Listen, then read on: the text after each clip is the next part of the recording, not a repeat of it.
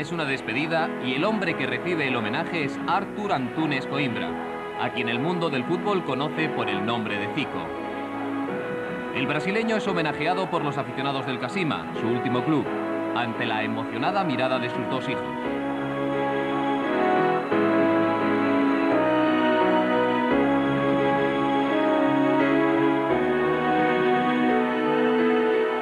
Es un buen día para recordar toda una vida consagrada a su gran pasión, el fútbol. Eu acho que qualquer coisa que a gente faça tem que gostar daquilo. Tem que fazer com carinho, com paixão e querer fazer o melhor. Zico es una consecuencia. Su padre y tres de sus seis hermanos fueron futbolistas. En las calles de Quintiño, su barrio encuentra libertad, dificultades y un balón que no para de rodar. Eu tive uma infância muito agradável e muito feliz, porque morando no subúrbio, é, as crianças do subúrbio tinham espaços para fazer qualquer tipo de brincadeira, né? E que é, a parte o horário da escola você praticamente ficava o dia inteiro na rua. E eu acho que toda a minha personalidade, tudo aquilo que eu, que eu sou hoje, tem muito a ver com, com as minhas atitudes na, na minha infância, lá em Quintino. Es rubio, delgado y bajito, y juega al fútbol con mayores que él, pero su habilidad le convierte en la atracción del barrio. Como toda su familia, Zico tiene dos pasiones, el fútbol y el flamengo. Eu sempre jogava no meio dos grandes. E muitas vezes, ah, nos clubes, à noite, só podiam entrar maiores de 14 anos. E eu tinha 12, 13. Então, muitas vezes, eu ficava na porta dos clubes chorando para poder entrar, para poder jogar. E quando as pessoas viam eu na quadra jogando, aí entendiam melhor, né? Mas no início eu tive muitos problemas por causa disso. Juega con sus amigos en el Santos de Quintiño. Su pequeña celebridad llega hasta Celso García, conocido locutor de radio y fanático del flamengo. Eu tinha algumas referências a respeito dele. Ele, irmão do Edu, irmão do Antunes, dois craques já consagrados, era tido e havido pelos conhecidos como o melhor da família. Eu, então, sabendo que ele ia se exibir num torneio de futebol de salão do River, eu fui lá para ver realmente quem era o Zico. E eu realmente fiquei maravilhado com o que vi. O talento dele, que pesa a idade, o biotipo muito franzino, mas de qualquer maneira já tinha uma lucidez, qualquer coisa que me agradou profundamente. E falei com o pai dele, o velho Antunes, se ele me autorizava a levar o Zico para o Flamengo. Aquel día Zico marca 9 de los 14 goles de su equipo. Con 14 años mide tan solo 1,55 y pesa 33 kilos. En el flamenco se le reconoce su gran talento, pero dudan que pueda progresar hasta el profesionalismo con ese físico. Havia por parte do Flamengo uma preocupação que eu jogasse bem, mas que não, não pudesse crescer e não pudesse desenvolver a, a, minha, a minha musculatura. Então foi feito um trabalho de muscular, foi feito um trabalho de remédios, um trabalho de reforço da, da alimentação.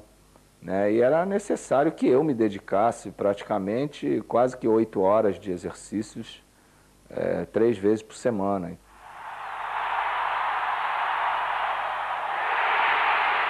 Zico sabe muy bien que su futuro como futbolista depende ahora de la alimentación, de los complejos vitamínicos y de una medicación idónea. Los anabolizantes hormonales le convierten en el primer futbolista biónico. Con 17 años ya mide 1,72 y pesa 60 kilos. Pero Zagalo, el entrenador del Flamengo, no acaba de confiar en sus posibilidades. Ele foi franco comigo, quer dizer, ele me deu uma opção, se eu quisesse continuar lá, se eu continuasse voltar para a categoria de júniores, foi o que eu acabei fazendo, porque eu precisava jogar e eu precisava, eu estava querendo ir para as Olimpíadas e precisava estar jogando. E aí voltei para a categoria de baixo, mas ele várias vezes me, me, me trouxe para jogar, para ficar na reserva dos profissionais. Quando ele saiu em 74, é que treinador que, que assumiu a, a condição, o Jobert, era o treinador que conhecia, que foi meu treinador nas categorias de baixo o tempo todo. Sabia que eu. E eu estava mais, mais maduro também, eu estava. É, e, e, uma coisa importante, eu ia jogar na minha verdadeira posição, com a camisa 10 do Flamengo. E aí eu fui embora direto, né? Quando ele me deu a chance, eu comecei a, a jogar, fazer gols e o Flamengo a ganhar, ganhar, e fomos campeões já no primeiro ano. E nunca mais saí da, da minha condição. Con 19 años ya es considerado como la mayor promesa de Brasil y lo bautizan como el Pelé Blanco, pero no es convocado para las Olimpiadas de Múnich. El técnico de Brasil prefiere jugadores más experimentados. Nada le resulta fácil a Zico y eso va fortaleciendo su personalidad. Fue a grande, a grande tristeza da minha vida foi essa não convocação para as Olimpíadas, porque É, além de eu, no pré-olímpico, ter, ter jogado muito bem, ter feito inclusive o gol da classificação, fui o artilheiro do campeonato, nós fomos campeões. E eu estava muito bem e ele não me convocou. E eu tinha como certa a, a convocação. Né? Tanto é que eu nem escutei pelo rádio a convocação porque eu já estava como certo. E foi a grande decepção da minha vida e E foi a primeira, primeira y única vez que yo pensé en abandonar el fútbol, fue en aquel periodo. Frágil de físico pero fuerte de mente, Zico nunca se viene abajo y trabaja a la espera de su gran oportunidad. En el 72 es elegido mejor jugador de Brasil. En el 74 gana el campeonato carioca con el Flamengo. O jugador de futebol, ele precisa. É, ele tem as oportunidades, mas se ele é, se desestimula. Se ele acha que não vai ter, essa oportunidade vai demorar a chegar, quando ela aparece, se ele não estiver preparado, ele não consegue o seu objetivo. Eu acho que o importante da minha carreira é que eu estava preparado para aquela oportunidade. Né? Então, quando ela surgiu, eu assumi a posição e não saí mais. A pesar de estar en una preselección de 40 jugadores, Zagallo, ahora en la selección, no le convoca para el Mundial del 74 en Alemania. Debutará en el año 76, en la Copa Atlântica frente a um clássico, Uruguai. O primeiro treinador que me convocou foi Oswaldo Brandão. Eu fiz vários amistosos, Copas, muito bem, adquiri a posição de titular. É... E quando chegou às vésperas da, da Copa do Mundo, nas eliminatórias, o Brandão saiu, entrou o Coutinho, que era meu treinador no Flamengo, e o Coutinho tinha ideias é, novas, ele é fã do futebol holandês de 74, do carrossel da Holanda, e tentou modificar um pouco a, a seleção brasileira em termos da forma de atuar, procurando mais voltar para a parte tática do que propriamente para a parte técnica e criativa do jogador brasileiro. El hombre al que todo le costaba mucho disputa su primer mundial en el 78, con 25 años. En la primera fase, Brasil no pasa del empate frente a Suecia. Reinaldo iguala antes del descanso. Contra España estuvieron al borde de la derrota y el 0-0 final es algo más que un consuelo. En el tercer partido, Brasil gana con muchas dificultades a Austria. La presencia de Rivelino solo sirve para hacer más dolorosa la nostalgia. La magia del 70 ha desaparecido. La selección brasileira de 78 teve algunos problemas, algunas indefinições. O Coutinho é, fez muitas mudanças inesperadas na equipe e a cada jogo era uma equipe diferente. Mas mesmo assim, o Brasil, pela sua qualidade, é, poderia ter ido para a final naquele jogo de Rosário, onde a Argentina é, permitiu e o, e o Brasil é, não foi o, o, Brasil ofensivo que, que deveria ser naquele jogo, porque a Argentina estava cautelosa. É, e perdemos a oportunidade naquele jogo de chegar à final. O outro jogo, Brasil e Polônia e, e Peru e Argentina, a gente que não faz isso nunca acredita que, que os adversários possam é, abrir as pernas, né? Foi estranho a gente ver o Peru sofrer uma goleada, o que eu é, acho que não deveria ter acontecido seria o jogo num horário diferente. Eu acho que naquele, como acontece hoje numa Copa do Mundo, é, os dois jogos deveriam ser no mesmo horário, não o jogo do Brasil ser antes e a Argentina já jogar sabendo qual o resultado tem que fazer. Então, é, eu acho que ali foi o grande erro da, da Copa do Mundo, né? Que dava-se entender que era para beneficiar a Argentina. E a maneira como os jogadores é, se apresentaram do Peru dentro do campo, né? Foi a gente que tinha visto o Peru até aquele momento jogar, vinha fazendo uma boa Copa do Mundo e, lamentavelmente, sofreu aquela goleada que nos tirou da final. A Zico siempre le queda su casa, el Flamengo, que extiende su autoridad a todo el país, ganando los campeonatos brasileños del 80, 82 y 83. Nós conseguimos, é, nesse período de praticamente cinco anos, ganhar mais títulos do que o Flamengo havia ganho em toda a história dele, que já era de quase é, 85 anos. Então nós conseguimos ganhar vários títulos no exterior, várias Copas, e conseguimos a Campeonato Brasileiro, é, conseguimos a Libertadores e o Mundial. Então, eu acho que a Libertadores, sem dúvida, que foi o, o a Copa mais difícil pelas circunstâncias, né? Pela, pelas rivalidades que existem dentro da, da América. Nós pegamos na final o time chileno, Cobreloa, e, vencemos no Maracanã bem e fomos pressionados, quase que apedrejados no Chile, perdemos de 1 a 0 e fizemos um, um segundo jogo no Uruguai, num campo neutro, ganhamos de 2 a 0 é, e fomos campeões que nos deu o direito de disputar a Copa Interclubes com o Liverpool en Tokio. En su primera participación, el Flamengo gana la Copa Libertadores de América y pone fin a un año maravilloso al proclamarse campeón de la Intercontinental, venciendo al Liverpool.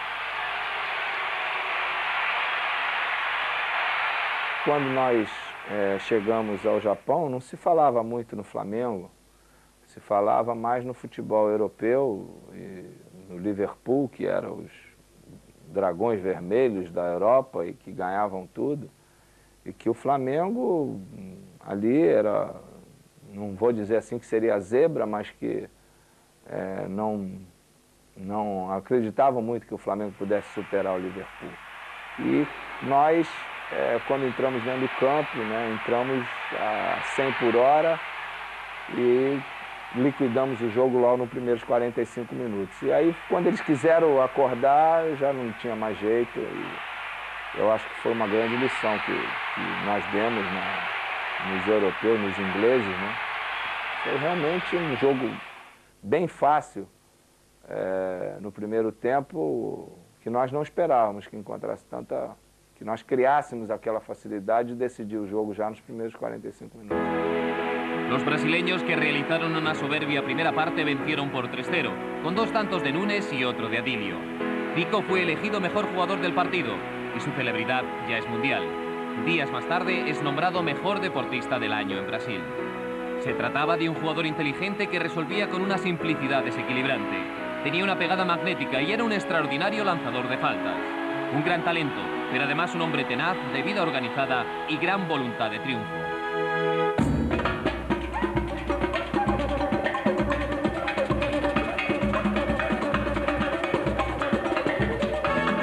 En 1982 Brasil llega al Mundial de España con Tele Santana en la dirección. Brasil vuelve a sus raíces, a la esencia de su fútbol artístico, con un medio del campo inolvidable formado por Falcao, Toniño Cerezo, Sócrates y Zico. Era muy difícil jugar mejor que aquel equipo. A grande diferença de, de 82 para 78 é que 82 Desde que o Tele assumiu em 80, a seleção brasileira jogou constantemente e foi mantida uma base. Então, a seleção brasileira chegou na Copa do Mundo, era uma geração boa, uma geração nova que estava se formando, e com um, um aspecto de conjunto, de coletivo, muito bom. E os resultados nos davam confiança de que a seleção poderia fazer um grande mundial. En el primer partido, Brasil iba a vencer a la Unión Soviética con dos goles de Sócrates y Eder. En el segundo encuentro, frente a Escocia, Zico marcaría su primer gol en un mundial, con triunfo de Brasil por 3 a 0. Frente a Nueva Zelanda, Brasil da otra exhibición con la ley del mínimo esfuerzo, 4 a 0. Dos nuevos goles de Zico, uno de Falcao y otro de Serguiño.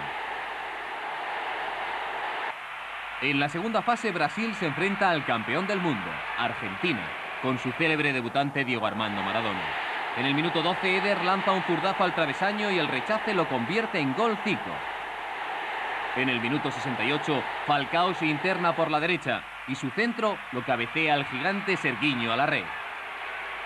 Nós jogamos bem contra Argentina, ganhamos bem. A seleção argentina é uma seleção forte, com Passarela, Kempis, Maradona, Bertone, Ardiles, Filol, uma seleção fortíssima. Nós ganhamos até com certa facilidade. E veio a Itália, que também era uma grande seleção, né, com Conte, Antonioni, Cabrini, Rossi, Zoff, Chireia. É, e nós jogávamos, inclusive, pelo empate. Mas naquele dia, a, a seleção brasileira é, consegui, conseguiu cometer alguns erros individuais e que, e que foram fatais para a nossa eliminação. En Sarriá, Rossi cabecea a los 5 minutos un centro de Cabrini. La reacción es inmediata. En el minuto 12, Sócrates, a pase de Fico, bate al veterano Dinozov. En el 24, Rossi bate a Valdir Pérez de un potente derechazo. Brasil está desconcertado. Falcao, de un magnífico zurdazo, devuelve el empate al marcador. Seis minutos más tarde, córner de Conti, Bergovi cabecea, Tardelli remata de volea y Rossi remacha desde cerca en el área chica. 3 a 2. Brasil está fuera del Mundial. Eu acho que a derrota do Brasil naquele Mundial, ele fez mal ao futebol mundial, porque ficou prevalecendo um futebol de resultados, daquele time que entra para não perder e ganha uma Copa do Mundo. E aí as Copas subsequentes de 86, 82, 90 e 94 foram Copas que prevaleceu sempre mais a parte tática do que propriamente a arte de jogar futebol, a qualidade técnica. Zico se encontraba a gusto el Flamengo. Dos años antes del Mundial había rechazado una oferta del Milán. La hinchada del Flamengo se echó a la calle para celebrarlo. Hubo fiesta en Río, pero en el 83 la situación iba a cambiar radicalmente. Zico es traspasado al Udinese italiano por 4 millones de dólares. Eu, sinceramente, não tinha nenhum interesse em, sair do Flamengo. Só que, na época, havia um presidente que, naturalmente, deve ter dado a palavra dele de uma negociação, e ele alegando que dois anos depois eu teria posse livre e, e que se o Flamengo não me vendesse naquela época não arrecadaria nada. Então ele pensou mais na parte material somente do que propriamente naquilo que, que eu significava pelo, pelo Flamengo, que tinha feito, tinha ajudado a, a construir no Flamengo. En la primera temporada todo fue perfecto.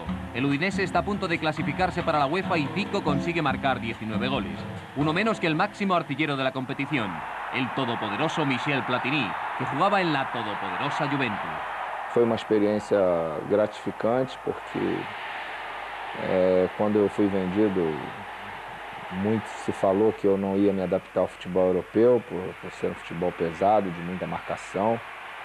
E eu pude, no primeiro ano, mesmo jogando numa equipe que não era de ponta, mas que queria ser de ponta, eu pude é, fazer um bom campeonato, é, chegar é, quase à artilharia do campeonato, ficando somente um gol atrás do Platini, que jogava no Juventus e que o Juventus foi o campeão. Ele fez 20 gols, eu fiz 19, mas ele jogou é, quase 30 partidas e eu joguei 23. Então a média de gols é, acabou se tornando maior, inclusive ganhei um prêmio por causa disso. En la segunda temporada, Zico sufre los estrechos marcajes de los defensores y del fisco italiano. lesiones y problemas extradeportivos que solo le permiten marcar tres goles en 16 partidos. É, eu tive um problema é, muito sério com, com a parte do imposto de renda, já que é, eu tinha dois contratos, um contrato como jogador de futebol e um contrato da minha imagem. O que deu problema foi o contrato da venda da minha imagem, já que eu fiz esse contrato no Brasil no dia 10 de junho, antes de chegar a ser residente na Itália. Portanto, eu é, devia explicações ao fisco brasileiro, ao imposto de renda do Brasil. Todo o dinheiro que eu recebesse desse contrato de imagem, eu pagaria o imposto normal, como sempre paguei no Brasil. Só que quando eu cheguei em, em, na Itália, em julho, agosto, é, o presidente alterou a, a data do contrato, passando esse contrato de imagem para 5 de agosto, se não me engano, 3 de agosto. E com 3 de agosto eu já era residente na Itália. E foi aí que ocorreu todo o problema. Eu, por causa desse contrato, acabei não recebendo nenhum centavo é, do meu contrato de imagem, só que eu entrei com recurso e provei é, para todos em, no, no, tribunal que eu é, não tinha nenhum problema com imposto de renda, inclusive foi o atleta e o cidadão de Udine que naquele período pagou mais imposto de renda, eu lembro que eu paguei, se não me engano, 450 mil dólares de imposto de renda, meu contrato é, como atleta, o, sendo a pessoa, o cidadão que mais pagou imposto de renda da cidade de Udine. Al final de la temporada 83-84, Zico rescinde su contrato con el Udinese para volver al Flamengo. Pero enseguida una entrada criminal le produciría una gravísima lesión que necesitaría de operaciones en Brasil y en Estados Unidos. Contribuiría a la conquista del Campeonato Carioca del 86. Sin embargo, nunca volvería a ser el mismo. En el Mundial 86, Brasil enfrenta a Francia en cuartos de final. Un partido maravilloso, emotivo y de gran intensidad. En el minuto 16, Careca concluye una gran jugada colectiva de la selección brasileña. Francia reacciona, Rochetó centra desde la derecha, Estopira no llega al remate, pero Platini, libre de marca, empata justo antes del descanso. Mediado el segundo tiempo, Zico entra por Müller. Contra a França, que eu entrei, faltavam 20 minutos, aí é, recebi a primeira bola, dei um passe para o Branco, que sofreu um pênalti. E aí fui cobrar e cobrei mal, bati fraco e acabei desperdiçando uma oportunidade é, que poderia levar o Brasil a, a, a uma vitória.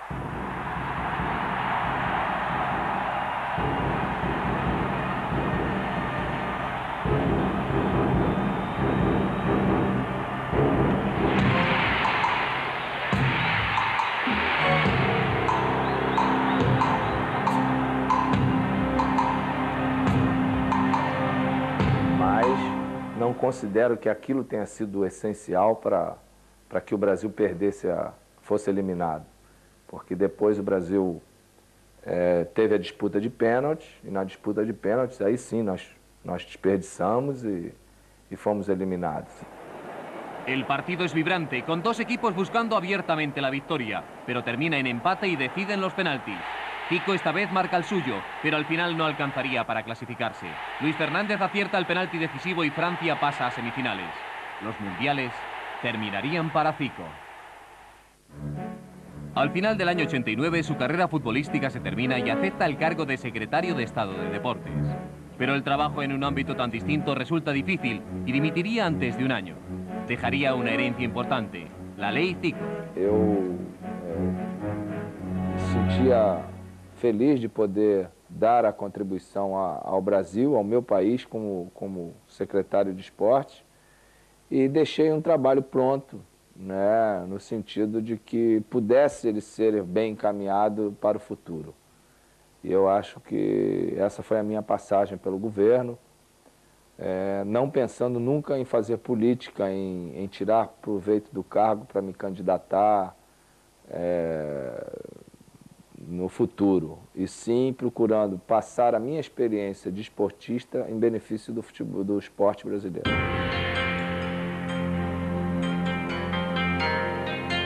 Liberado de toda responsabilidad política, Zico decide aceptar la oferta del Kashima Antlers, un equipo de la segunda división japonesa. Tenía 38 años y las rodillas débiles, pero la fuerza de un conquistador. Volvió a jugar, fue importante para la promoción del fútbol y contribuyó a la creación de la liga profesional.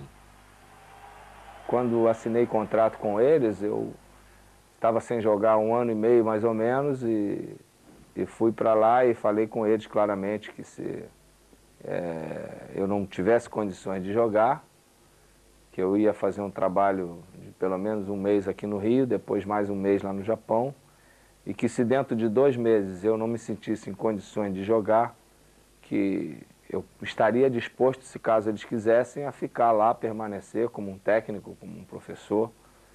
É, e dentro desse mês que eu fiz de preparação aqui, lá na, na, no Japão, quando eu cheguei lá, a diferença de qualidade técnica era tão grande que eu mesmo com 70%, 80% da minha condição física, eu com a qualidade técnica poderia jogar e com um rendimento. Tanto é que eu, no primeiro campeonato, joguei praticamente todos os jogos, acabei me tornando artilheiro da, da segunda divisão e levando meu time para a divisão principal e depois joguei praticamente é, um ano e meio né, no, no primeiro campeonato da J-League.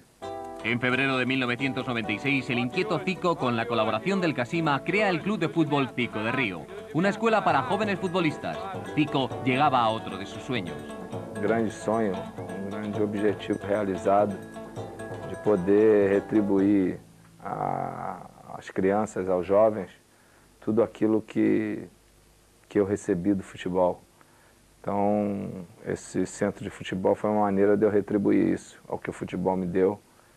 E eu, como gosto muito, e é uma das minhas paixões, então eu me sinto muito feliz aqui de poder realizar isso e poder dar emprego a muitas pessoas, poder ajudar meus ex-companheiros e poder é, passar meus conhecimentos de futebol a, aos futuros jogadores. En la actualidad sigue trabajando para el Casima, como máximo responsable de toda la sección de fútbol del club.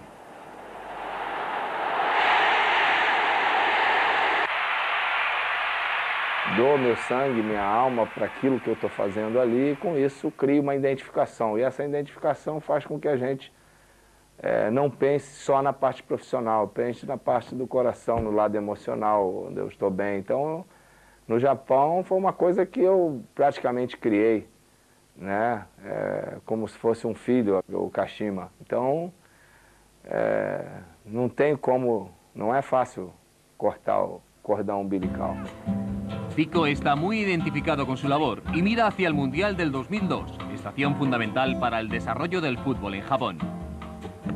Eu acredito que a parte é, econômica é o que menos é, importa, porque se você não adianta ter uma vida é, econômica muito boa se você não tem família, se você não tem saúde, se você não tem prazer no seu trabalho, não tem amigos e, e não sabe dividir o pão. Eu acho que a grande vantagem minha é poder saber o, dividir o pão, saber que eu tô, aquilo que eu ganho eu aplico no meu país, eu é, dou emprego a, a, muita gente, muitas famílias dependem do, deste meu projeto. Então eu fico muito feliz com isso, de poder dividir o pão que, que Deus me dá a cada dia. 847 partidos y 601 goles con el Flamengo. 66 goles en 88 partidos en la selección. Pero las cifras no dicen que fue el mayor ídolo de la historia del Flamengo. Y un hombre ejemplar, que supo ganarle a todas las dificultades, agregándole esfuerzo a su gran talento.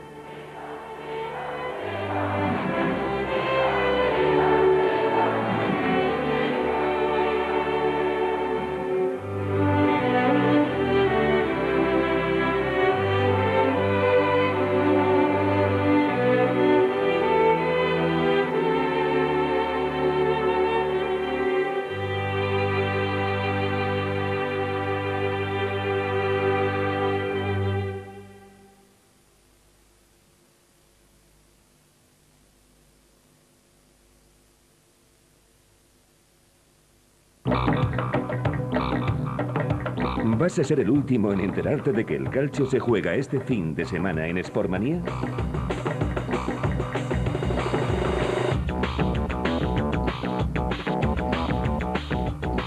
El sábado 6 a las 3 de la tarde, en directo Vicenza Bari. Y a las 11 y cuarto de la noche, Juventus Fiorentina.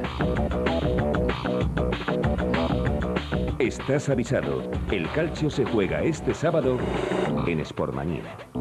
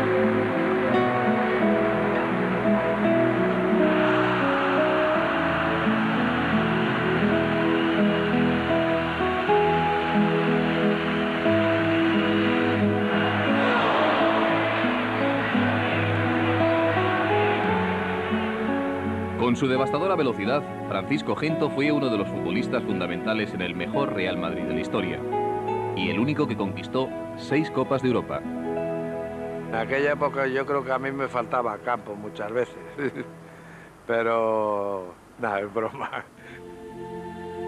Para nosotros fue muy difícil porque, claro, lo comparamos como ahora, donde empieza el chaval joven a los 10 y 9 años ya a tener un entrenador, a tener un balón, a tener sus botas. Jugábamos descalzos para no romper las alpargatas, porque en aquella época, vamos, yo en aquella época usaba alpargatas de, esparto y entonces, claro, si llegabas a casa con ellas rotas o desarmadas, pues la paliza era grande que te daban. Estos eran mis padres. Mi padre siempre me decía que era un helado y que era muy malo. Mi padre me daba muy pocos ánimos, pero yo era muy cabezón y, quería llevarle siempre la contraria. Y mi madre vive todavía, tiene 87, está como una niña. Ah, yo corría y además yo jugaba al fútbol en la escuela y me tenían que cambiar de jugar, de, porque otra corría, yo, era yo la daba corriendo. Metía todos los goles yo, todo lo hacía yo y claro, hasta me tuvieron que poner de portera y todo. Mi madre corría como yo, me- ella me enseñó a correr, era rapidísima, eh, corriendo. Íbamos a un sitio, vamos corriendo y echábamos carreras juntos. Cuando ella era. Esta es la primera ficha que hice yo de juveniles. Joder, vaya orejas que tengo.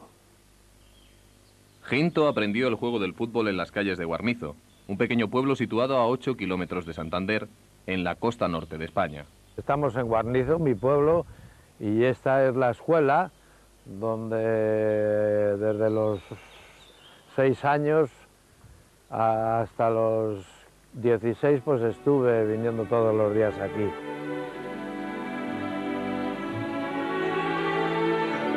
Aquí jugábamos con los... Como no teníamos balón, jugábamos con la...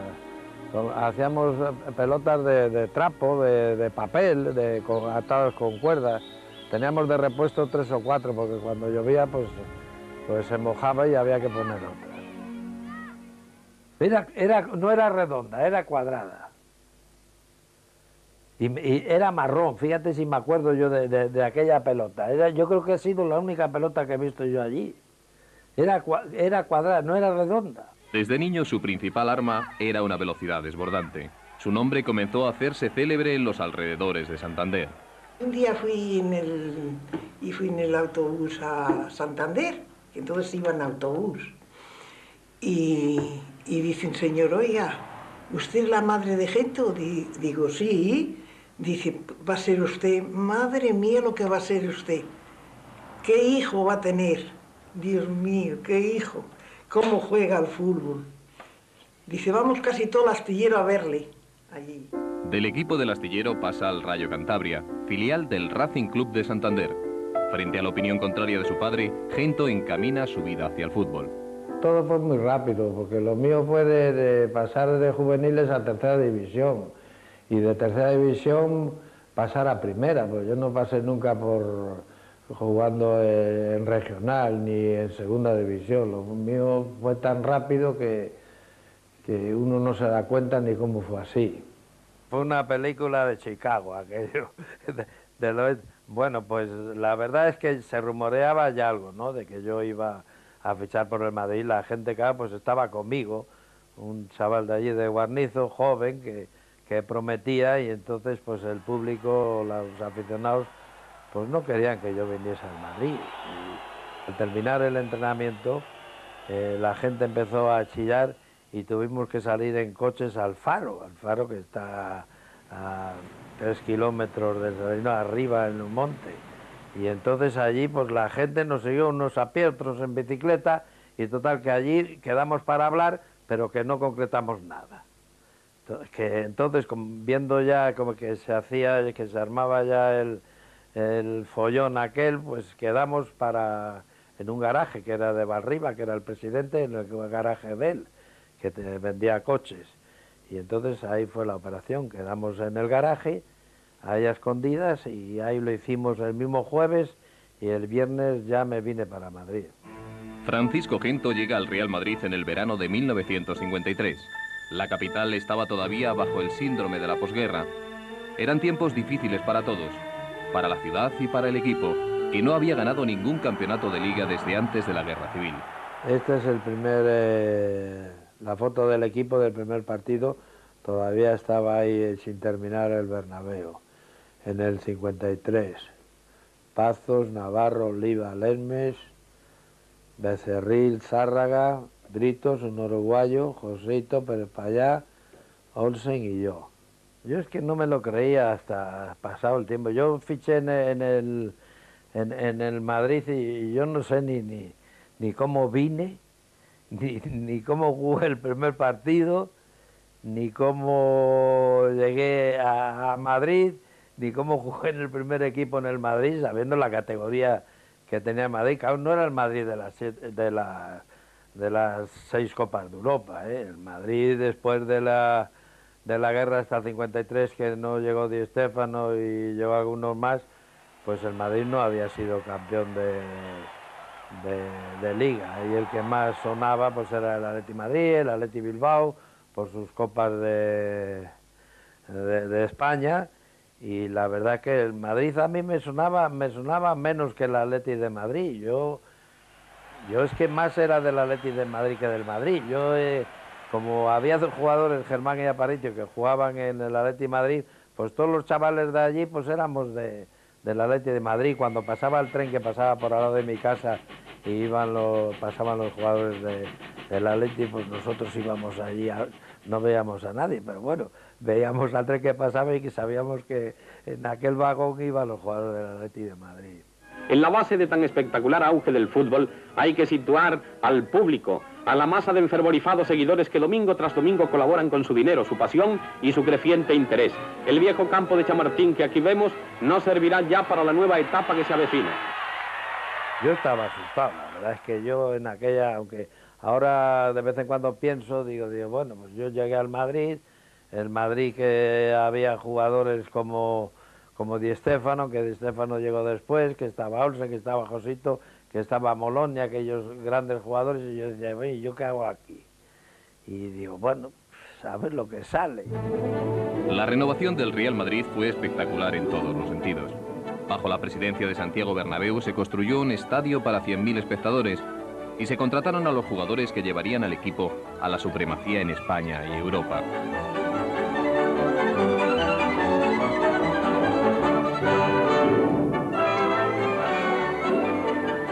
Había esa, presión. Sabemos que era un, equipo grande y que había un señor Bernabeu, que era un hombre que había hecho un campo grandísimo, el más grande de España o de Europa, el Santiago Bernabéu, que se había gastado mucho dinero y que pretendía pues hacer un, un gran equipo.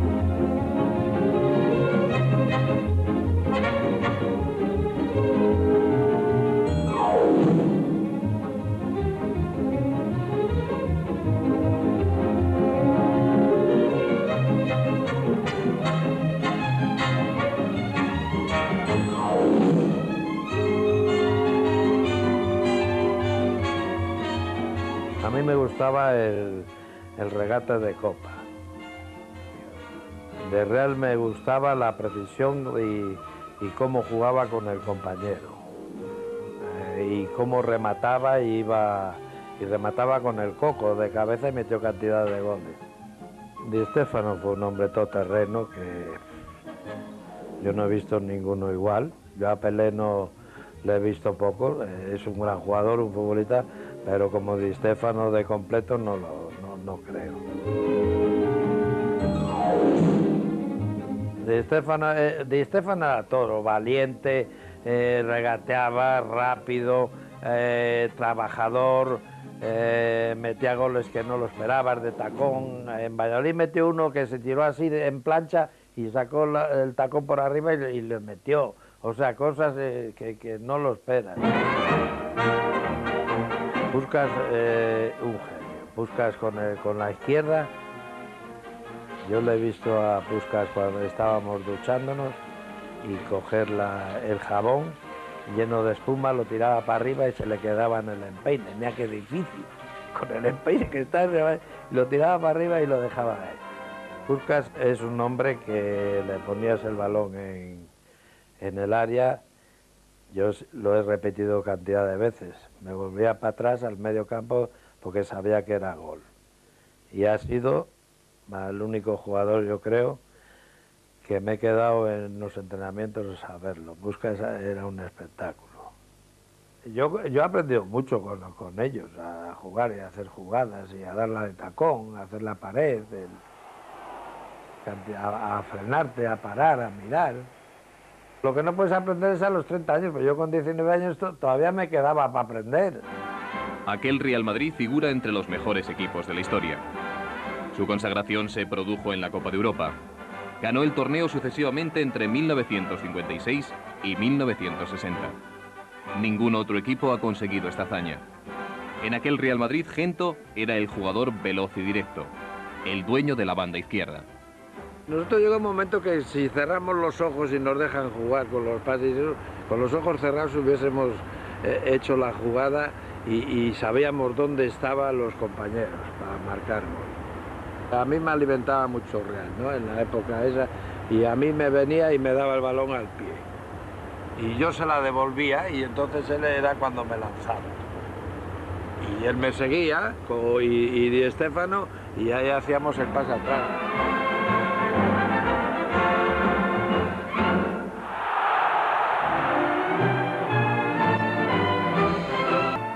Íbamos eh, empatados y que jugamos una prórroga y que tuve la fortuna de meter el gol yo. Velocidad, pues decían ellos que yo podía ganar el partido ese y la fortuna fue que yo metí el gol. Pero no de jugada que me escapé, sino que yo tiré y se coló entre piernas y metí el, el gol de la victoria. Pero el partido que inmortalizó al Real Madrid fue el 7-3, con 10 goles en en una final. Muchas veces no, me acuerdo si fueron Di Stefano 4 y Puskas 3 o, o Puskas fue 4 que salir otra vez. Que- Tuvimos que salir otra vez a saludar. La única vez en toda la historia del Madrid. La Copa de Europa ha sido cuando mejor, cuando nosotros salíamos y nos divertíamos. Te diviertes jugando. Los italianos estos siempre han sido muy duros en el, y esos no han cambiado mucho los sistemas, siempre han sido unos tíos ahí cerrados, cerrados atrás, los ingleses, los alemanes, siempre han sido... Nosotros éramos, valientes, nosotros éramos valientes, era un equipo valiente y trabajador, era un equipo de, de, y miedoso a la vez de que te ganase un equipo inferior. Su excelencia, el jefe del Estado, acompañado de su esposa, hace su aparición en el palco presidencial. El público le tributa una larga ovación a la que Franco corresponde con su salud.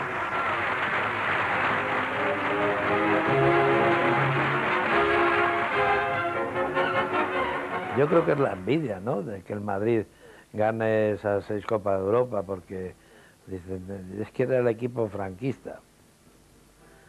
Si yo no estaba, pero si el equipo franquista es desde que termina la guerra hasta el 53 que no habían ganado un título, yo creo que era de que no había esos jugadores para ganar los títulos.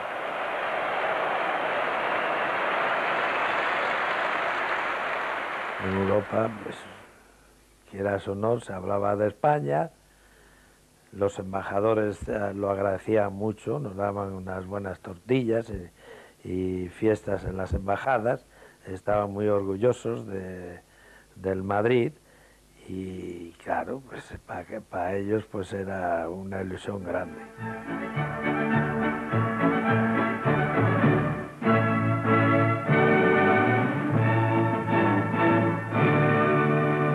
Era un hombre de, con carácter, como veis que es de la zona de por allí, de donde es manchego, de, de, murcianos y de esos, que tienen mala y era, era bruto, y era, pero era, bueno, era muy buen amigo. Era buena persona. Nosotros éramos como amigos, éramos un equipo que... Éramos gente de, que no era envidiosa, hay que ver la, cantidad de futbolistas que ha pasado por el Madrid y jamás en la vida nunca se sintió eso de, de que tú eres mejor, tú eres peor, o tú juegas, o tú o tú no juegas. Una leyenda ahí que dicen que Di Stefano no le que no le podía ver y que no es mentira. ¿eh? Didi pues no encajó porque el fútbol brasileño era mucho más lento, nosotros el fútbol nuestro era más rápido, era de contraataque de rapidez y entonces Didi no encajaba en, en el equipo. Antes de Didi a Bernabéu le hablamos de, de Eusebio. Y hay un jugador en Portugal que eso es un fenómeno, antes de jugar con nosotros y que es un fenómeno y eso nos vendría a nosotros bien. Pero se conoce que Bernabéu, pues en el Madrid no quería negros, como tampoco era maniático, tampoco quería eh, gente con bigote. Y, entonces eh, dijo que no, que de color en el Madrid que no venían, que no, no quería jugadores.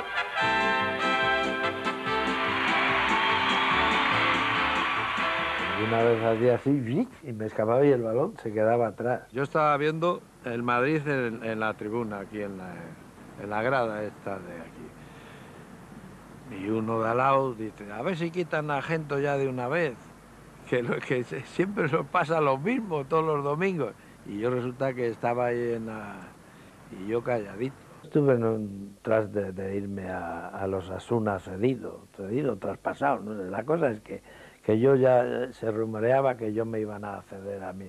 Para mí eso pues era horroroso, ¿no? Yo como era veloz y hacía cositas, y entonces claro, él ya era más veterano, tenía 27 años, yo 19, y una de las partes yo creo que fue de Stefano y, y el que, el que me aguantaron. ¿eh?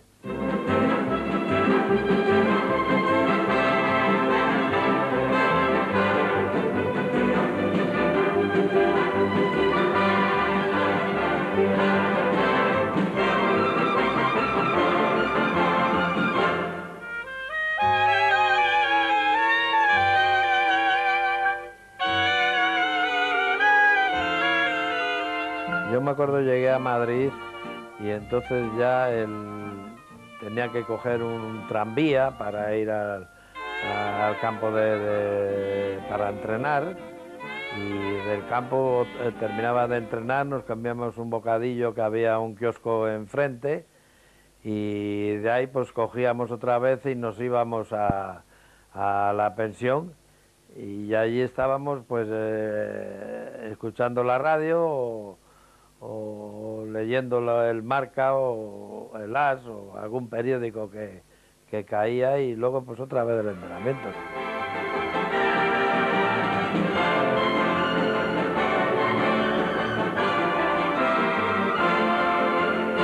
No es como ahora, nosotros hemos ganado, sí, hemos ganado dinero para pa vivir, pero no, no es como ahora. Ahora las cantidades que hay ahora eh, eso, vamos, son fabulosas. Hoy un día un jugador con dos años se puede retirar, un jugador bueno, ¿no? De élite. Hoy dos años, 600 millones se puede retirar de, del fútbol. A mí me hubiese gustado nacer ahora y cobrar esos millones, pero, pero bueno, era muy difícil. Y en mi casa pues también daba dinero porque tampoco éramos, éramos millonarios. La gente, pues yo tenía seis hermanos y, y, mis padres, aunque trabajaba y eso, pero estaban, estaban allí también que ayudaban, ¿no?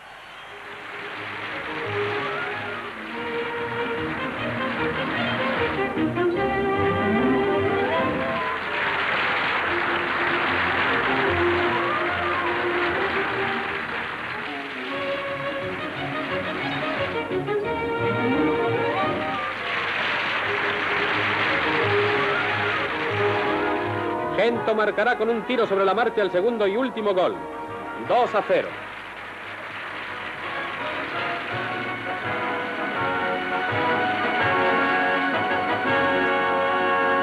Se tira un córner contra España, rebota el balón en el brazo de Del Sol y va a parar a Gento que corre la línea en calidad de moto. Atención que esto terminará en gol. Dribla uno tras otro a tres contrarios acreditando... Gento fue internacional entre los años 1955 y 1969. Nunca pudo alcanzar con la selección los hitos que consiguió en el Real Madrid, pero algunas de sus jugadas figuran entre las mejores que se han visto en la historia de los mundiales. Oh, Perry, you can see there, literally collapsing under the pain of his uh, left leg. Ento.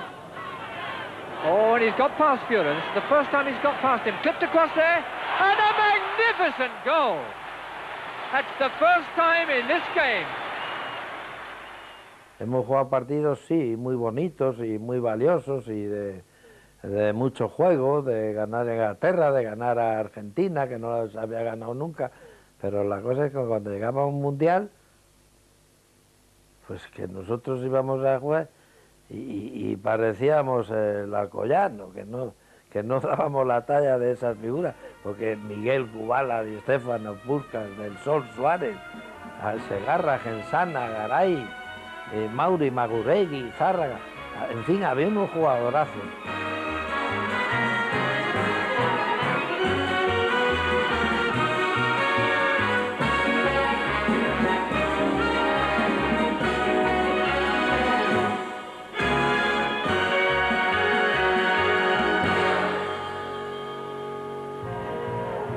Primeros signos del declive del Real Madrid llegaron con la derrota por 5 a 3 ante el Benfica en la final europea del 62.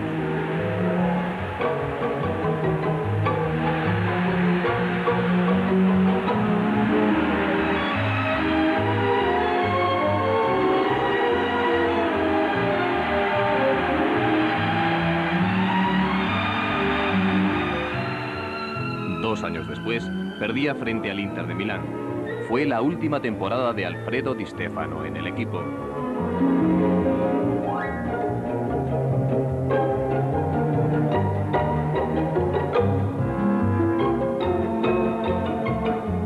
Pero a pesar de esta derrota, aún contaría el Real Madrid frente al Partizan de Belgrado con otra oportunidad para conquistar una nueva Copa de Europa. No había ese esa facilidad de, ganar a los equipos contrarios.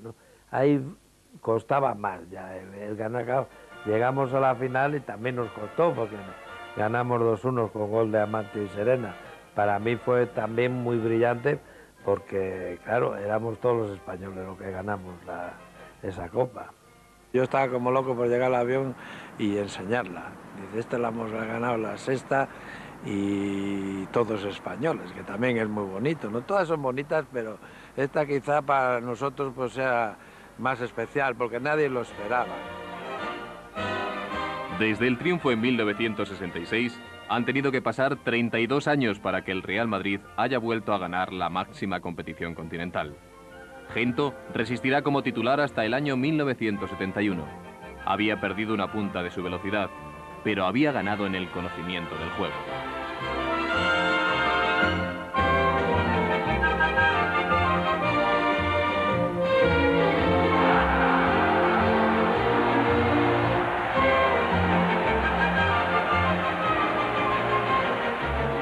Terminé en el Madrid, pues todavía el Valencia y el Español, pues me querían y yo tenía 38 años ya. Y yo digo, ¿dónde voy con 38 años todavía por ahí?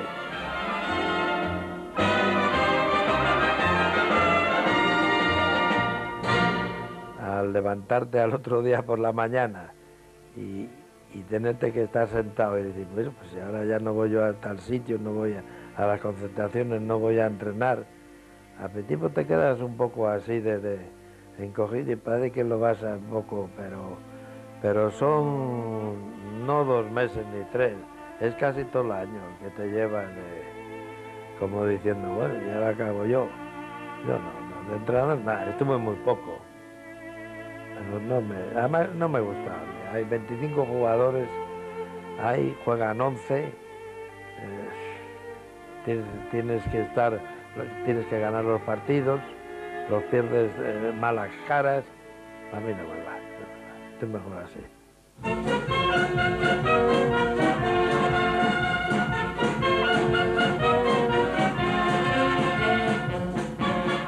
En las ventas toré y corté dos orejas. Me las dieron, ¿no?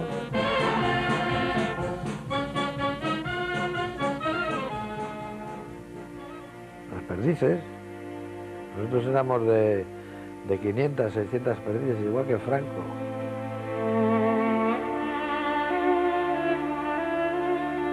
Yo no sé, yo debo tener como cuatro o cinco escopetas por ahí. Que no tengo, no sé ni dónde está la licencia ni nada de eso. Desde que tuve el perro me negué a matar bichos. Me negué. Yo paso dobles y eso sí. Que eso es muy español. Y le cantas algo argentino y como esté ahí en una comida un poco así, y se pone a llorar. Pues la amistad no, no, no se ha perdido nunca. Al revés, yo creo que ahora nos queremos más que antes.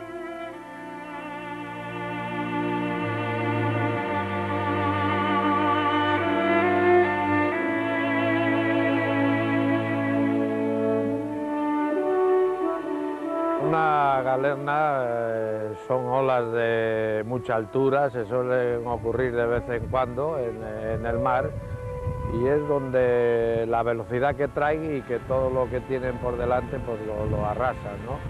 Y por eso me pusieron a mí eh, la galena del Cantábrico, por esa velocidad y, y, que para mí pues no había contrarios eh, cuando jugaba enfrente.